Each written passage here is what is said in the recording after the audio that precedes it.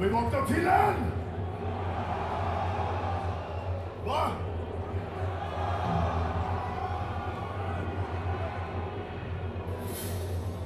Så.